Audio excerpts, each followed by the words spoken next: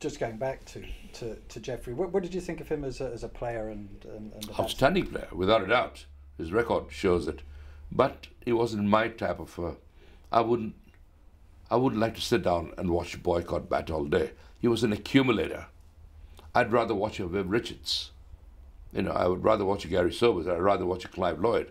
I'd rather watch Barry Richards or Graeme Pollock, the great, you know, great players who played far more attractive cricket. Geoff Boycott as a, had a tremendous patience, and all credit to him for that.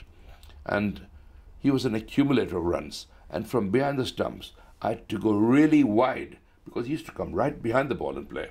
Technically, he must have been the best batsman in the world, or one of the best ever. You know, and um, and I hated keeping wickets. But funny enough, in my career, one batsman who's been dismissed most times by me is G. Boycott. Easiest of catches or stumpings, and um, and I can assure you, I took great delight in that.